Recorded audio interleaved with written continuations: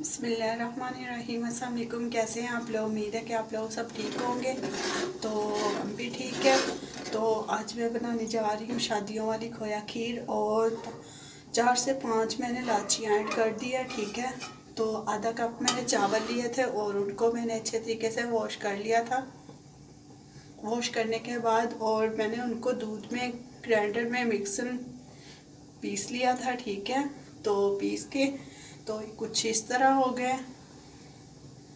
ठीक है? तो अब मैं दूध को बॉईल कर लूँ अच्छे तरीके से करके और साथ साथ ये मैं ऐड करती जाऊँगी। तो दो लीटर मैंने दूध लिया और अच्छे तरीके से मैंने इसे बॉईल कर लिया। तो अब जो ये इसे मैं ऐड करूँगी थोड़ा थोड़ा करके।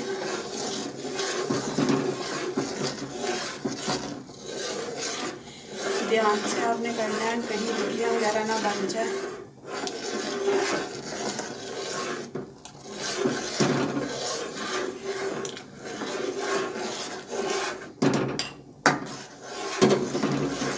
आपने हलाते रहना इसे, ठीक है? तो ये देख सकते हैं, इस तरह हो चुकी है, ठीक है? गहरी हो गई है। तो चीनी अपने टेस्ट के हिसाब से आप ऐड कर लीजिएगा। मैं आधा कप चीनी ऐड कर रही हूँ, ठीक है?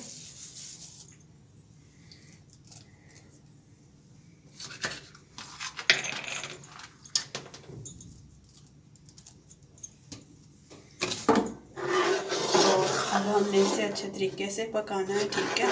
टमाट पे। तो अब मैं इसके अंदर जो खोया है, वो ऐड कर दूँगी, ठीक है? आप लोग अपने टेस्ट के हिसाब से ऐड कर लीजिएगा।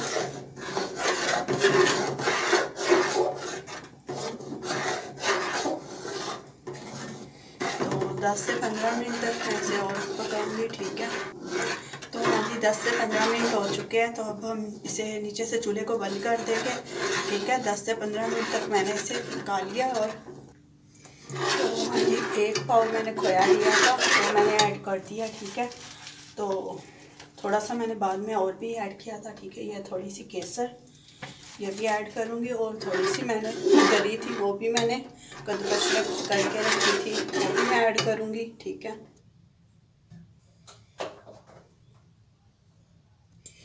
तो हाँ जी, ये देखें हमारी खोया खीर जो है शादियों वाली तैयार हो चुकी हैं और ये बहुत ज़्यादा मज़े की है तो आप लोगों ने इसे ज़रूर बनाना है। ठीक है? तो आप चाहें तो ऐसे इकट्ठी भी एक बर्तन में ऐड कर सकते हैं, चाहें तो अलग अलग बर्तनों में भी ऐड कर सकते हैं। ठीक है? तो चेक करते हैं। ये देखें, माशाल्लाह से। ये आप लोगों के लिए।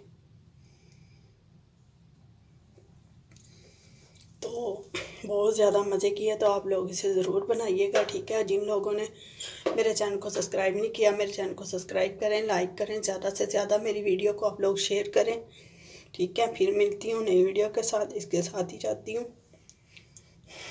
आप लोगों से इजाज़त चाहती हूँ, अपना ख्याल रखना दुआ में मुझे याद रखना, और ये बहुत ज़्यादा मज़े किया, ठीक है? तो आप लोग ज़रूर बनाइएगा, अल्लाह हाफिज़।